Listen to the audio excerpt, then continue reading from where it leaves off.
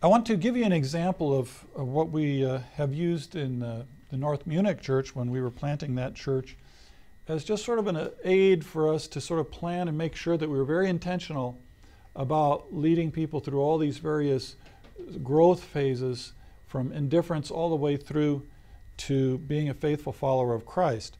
Uh, because we wanted our church to be a disciple making church. Uh, Jesus gave us the command to make disciples. The command is not just to gather people for a meeting once a week. Uh, the command is not just to build a building and put a cross on top of it.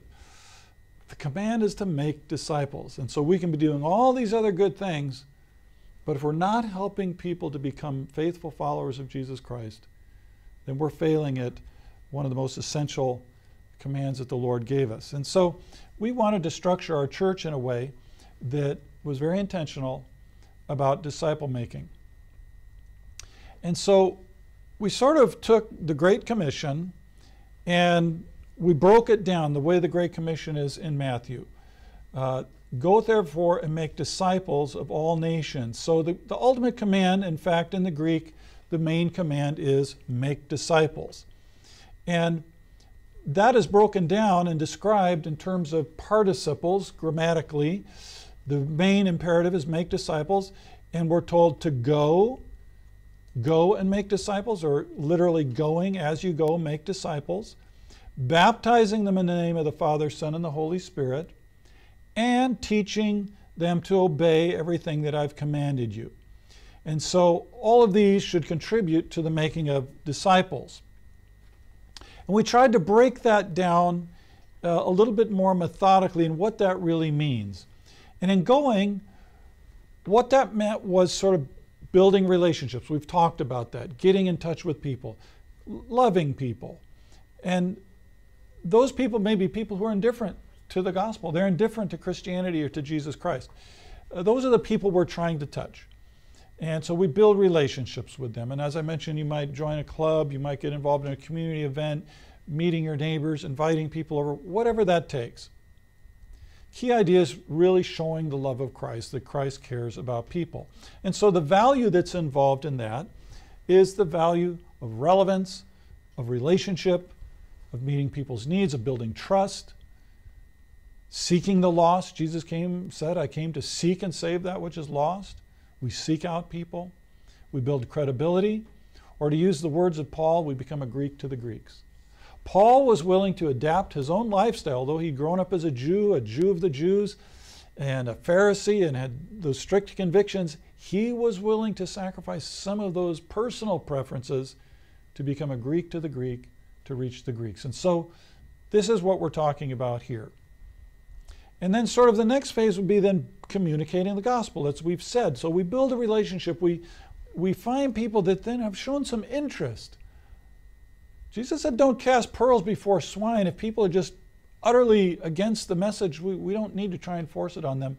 But as people become interested, then we communicate the gospel. And this is, this is the more direct evangelism loving people and then evangelizing, communicating the gospel. And so the value involved here is biblical proclamation. What did Paul say in Romans? He said, I'm not ashamed of the gospel because the gospel is the power of salvation to all who believe. And so it's that gospel where, where Christ evidences his power to save people. So we want to communicate that. And so we not only seek the lost, we seek to save the lost, to lead them back to a relationship with Christ. And every Christian should be a witness in one way or another in sharing that message. Well, now we come to the point of baptism, which would really be the point of conversion, of leading people not only to hear and understand the message, but to exercise repentance and faith in Jesus Christ and become his follower. And so these would be seekers who have now heard the message they're seeking, they're open, and we help them to make that step of commitment.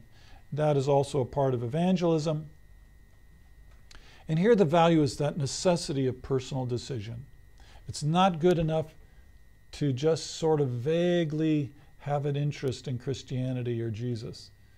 We help people to make that commitment. It's sort of like a marriage, you know.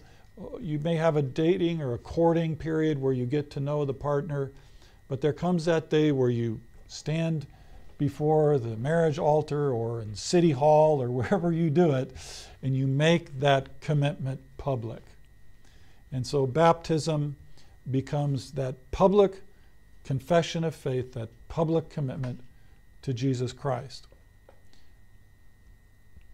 But as we said, we need to follow up. And so we move from there to following up in faith and obedience. That a person not just receives the forgiveness of Christ, but increasingly places their life under the lordship of Christ.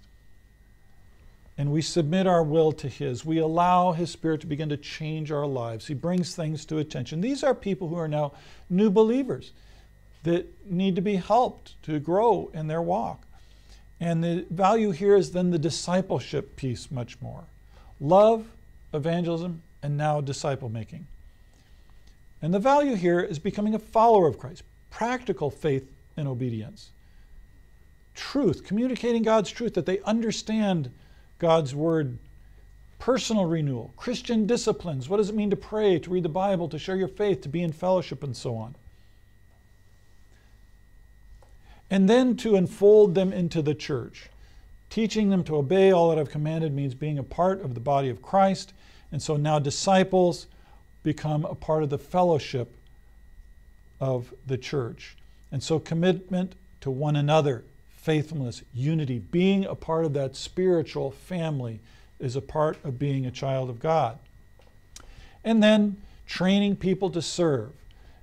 And here we're talking about people who have become members of the church or they're at least committed to the church and becoming servants. And so we help people discover their spiritual gifts. We teach them that they are responsible to serve others, not just to be served. Stewardship of their time, of their talent, of their resources. And then what never ends really is promoting further spiritual growth. And here we're talking about helping even servants to become deeper in their walk with God and growing in edification, building up their faith. Here we're talking about sanctification, increasingly honoring God in Christ's likeness. Now, this appears to be sort of a very linear process, the way we've set it up here. Of course, it's not always such a linear process in making disciples, but it did help us as a church to ask ourselves the question are we bringing people along this process of spiritual maturity? And what are we doing? You'll notice I very intentionally left this last column over here, I left it blank on this chart. Because you may want to take this diagram, you want to, may want to take this table, and with your church or in your planning process, even in a new church plant, say what are the activities or ministries or programs that we are going to do to achieve that goal. See, what we did in the Munich church may be very different than what you do in your particular place of ministry. And so, just for example, here, as I mentioned, we encourage people to get involved in community activities, build those relationships. Get out of your little Christian uh, pocket and get out and get to know non Christians. Become involved in service. Get involved and find ways that you can demonstrate love in the community. And then, here in this particular area of evangelism, we had personal evangelism training. That's something we could do. We had evangelist events. I mentioned uh, in one church we had tent evangelization. In Munich, we didn't do that. But we had lectures. We had uh, various other approaches. In this box here, we said, well, what are we going to do when people become new Christians? Well, we had uh, follow up basic Bible courses for new believer courses. So whenever we had an evangelistic event, we would always have sort of a course for new believers. And that course, by the way, was practical. One of the things I've observed is that sometimes we will have a follow up Bible course for new believers, but it's very theological. It's very um, abstract. But what does the new Christian need? The brand new baby Christian needs to know how do I read the Bible? What is the Bible? How do I pray? What does it mean to pray? How do I deal with temptations in my life? They need those practical steps on just learning how to be a Christian, like a little baby just first needs to learn how to walk. But sometimes these follow up courses get into all kinds of theological issues that a new Christian really can't relate to yet. Now, that will be important for them to grow later on. But I'm convinced that in the early stages of discipleship, they need more practical kind of help in Christian disciplines. And then down here, uh, we had our small groups, our cell group system to integrate people into the family of God. So, so yes, we have a larger worship service, but get involved in that small group where you're in a committed relationship with other Christians. Uh, you might have new members classes. Uh, help people discover their spiritual gifts. Again, we found the small groups were the key place to help people discover spiritual gifts. And we wanted those small groups also to be a place where people are constantly growing in their walk with Christ. So, anyway, this is a, an approach that you can use if you find this helpful, use it. If you don't, do something else. but the main thing is make sure that your church plant is being very intentional about leading people to Christ and helping them to faithfully become disciples of Christ. It doesn't happen automatically. And just having them attend church on Sunday and going home again is normally not going to be enough. And you can't assume that. So that is the importance of being a disciple making church. TVS Seminary is a nonprofit project. Our joint effort will bring about the common purpose of making Christian education available around the world and developing good Christian servant leaders. You have a unique opportunity to partner in this effort through your prayer and or financial support of TVS Ministry. For more information, please visit tvsseminary.com. So here's a few questions for application if you're discussing these topics with your group or in your class.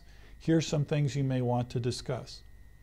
What methods of evangelism have proven effective in your place of ministry? We've given you a long list of different kinds of evangelistic activities personal evangelism, event evangelism, film, and so on and so forth. What has God blessed where you work? What follow up methods are being used to disciple new believers? I hope that in your church planner, in your church, you're seeing new people come to faith in Jesus Christ. What are you intentionally doing to help them in those first steps of just finding out what it means to be a Christian and to live with Jesus. And how can you strengthen the integration of new believers into the life of the church?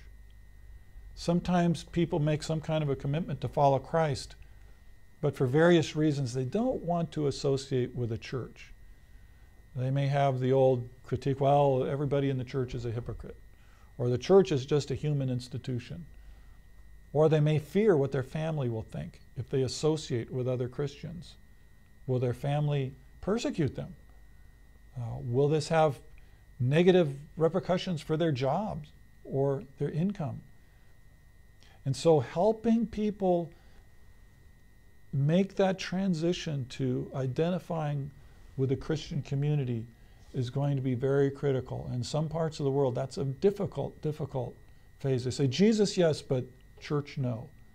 And you're going to have to be intentional about finding ways to help people make that transition. So these are some questions you can discuss.